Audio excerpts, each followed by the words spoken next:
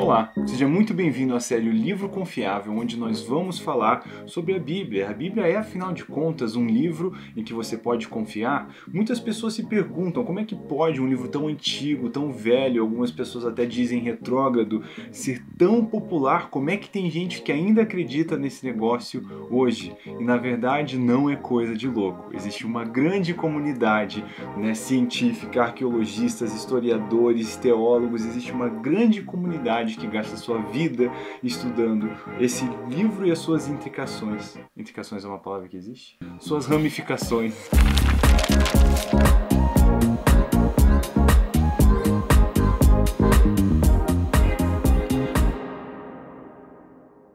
Você ter noção, em 2015 a Bíblia já era o livro mais vendido do mundo com mais de 5 bilhões de cópias distribuídas. São muitas cópias. E esse livro ele tem um peso na nossa cultura até hoje, quer você goste disso, quer não. É um livro muito importante, uma coleção de livro muito importante. Agora, a Bíblia tem alguns estilos literários diferentes, dentre eles narrativa histórica, que é onde nós vamos começar hoje. Porque se você me disse que você foi para a padaria e isso aconteceu de verdade, não pode ser só uma história que não pode ser comprovada ou validada por fatos. Como é que você pode provar que você foi para a padaria? Certamente alguma câmera de segurança te filmou indo para lá. Você tem o recibo da sua compra do pão, o padeiro te viu, outras testemunhas oculares te viram.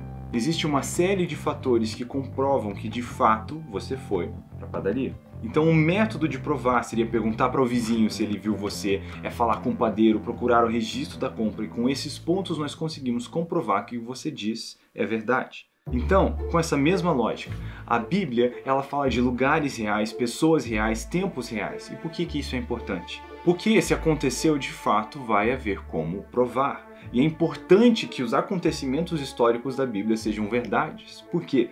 Porque a Bíblia é a palavra de Deus e é impossível que Deus minta. Nós aprendemos isso em Hebreus 6, no versículo 18. Então, se o nosso Deus é um Deus da verdade a Bíblia é a sua palavra, ela não pode conter mentiras. John Wesley costumava dizer: se há uma falsidade na Bíblia, então podem haver milhares de falsidades na Bíblia, então ela não poderia proceder do Deus da verdade. Então, por isso, existe uma comunidade de historiadores, teólogos e arqueólogos que levam essas coisas muito a sério. E eles querem encontrar os registros das compras, as testemunhas oculares, tudo o que pode comprovar que o que está escrito aconteceu de verdade. Então, com a palavra de Deus, com a Bíblia, nós devemos fazer esses mesmos testes que nós fazemos com outros eventos históricos. Nós devemos fazer esses testes então com a narrativa histórica da Bíblia. Os livros bíblicos, eles resistem a qualquer estudo forense, eles resistem à prova histórica, que se baseia na demonstração de que um fato que realmente ocorreu, sem qualquer dúvida possível. Existem três tipos de testemunha: oral, escrito e evidências, tipo você encontrar a arma da cena do crime. Será que foi o candelabro ou foi a peixeira na cozinha? Para com a palavra de Deus, houve a testemunha oral, né? De, a conversa de uma geração para a próxima, juntamente com a escrita que foi preservada ao longo dos anos, nós vamos falar sobre isso, e também a evidência, os potes quebrados, as moedas, os anéis, as paredes, muitas coisas que encontramos que validam isso tudo. Vamos começar falando sobre essa parte escrita e o cuidado dos copistas, que é confirmado pelos pergaminhos do, do que é uma das maiores descobertas arqueológicas da nossa época. Os copistas ou escribas ou mestres da lei, eles tinham um trabalho. Eles abriam os pergaminhos da lei, que compunham a palavra de Deus, as sagradas letras, as escrituras coletivas que eles chamavam de Tanakh, e eles abriam outro pergaminho em branco. E eles copiavam letra por letra com muito cuidado, porque eles entendiam que essa era a palavra de Deus. Então, eles eram tão cuidadosos com isso né? E quando nós encontramos os pergaminhos do Mar Morto, que foram encontrados entre 1947 e 1956, eles foram escritos por volta de 100 anos antes de Cristo e eles tinham quase todos os livros do Antigo Testamento, com exceção de Esther e Neemias. Antes disso, as cópias mais antigas que a gente tinha eram de 900 depois de Cristo. Quer dizer, é uma diferença de quase mil anos, e quando isso aconteceu, a comunidade arqueológica estava pronta para falar: né, olha aí, acabou essa conversa de Bíblia, vamos mostrar como esse livro mudou pra caramba. Mas, para surpresa de todos, o resultado foi uma alteração de 5% em ortografia. Quer dizer, o que a Bíblia diz não mudou, se mudou como você diz aquilo. Foi a língua que atualizou, né? a, a gramática que mudou, mas não o conteúdo. Cara, imagina qualquer livro de uma disciplina escolar que você tinha cinco anos atrás é obsoleto, não serve mais para isso hoje. Imagina um pergaminho né, um livro permanecer o mesmo por mais de mil anos, preservando seu significado, embora tenha sido traduzido para diversas línguas. E é por causa dessa tradição do copista, e eu creio, cuidado na mão de Deus sobre esses livros, que a história que estava sendo contada não foi alterada, ela foi preservada. Outro parâmetro com o qual nós analisamos a veracidade da historicidade da Bíblia, ou a história da Bíblia, é a arqueologia. Por exemplo, o Aerópago de Pau, as 54 cidades, 39 países e 9 diferentes ilhas descritos por Lucas em Atos foram encontradas. A gente sabe que esses lugares existiam.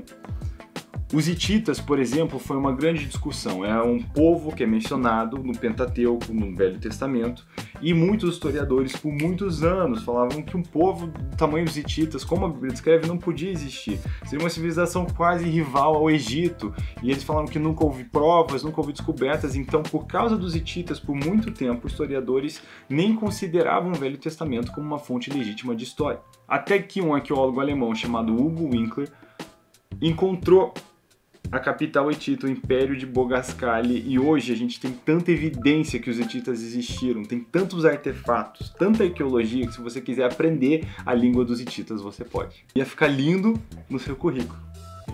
Aprender uma língua de uma civilização que morreu muitos anos atrás. Muito da história que acontece na Bíblia, mas envolve outros povos, tem não somente as evidências bíblicas, mas também os relatos de outros povos, como por exemplo as 10 pragas do Egito. Existe um pergaminho egípcio que se eu não me engano chama o, o pergaminho de Ipur ou Ipué, que ele tem a perspectiva egípcia das dez pragas que aconteceram e foram relatadas pelos próprios egípcios. Então, a Bíblia é um livro historicamente confiável e existe uma grande comunidade que respalda e valida isso. Agora, aqueles que se aproximam de Deus, eles precisam ter fé para agradá-lo.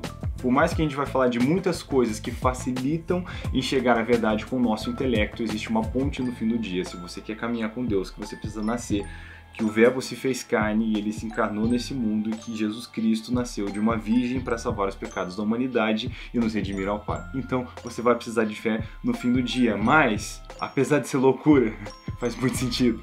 O que nós estamos fazendo aqui não é querer ficar nhê, analisando, sendo chato, mas é porque existe também uma lógica.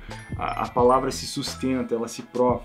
E como nós falamos no início sobre você provar que foi na padaria, né, o padeiro te vê, tem a, a maquininha do cartão, as evidências da Bíblia elas estão aí e, e sustentam o fato e termina com você. Você tem que decidir né, se você acredita nisso ou não.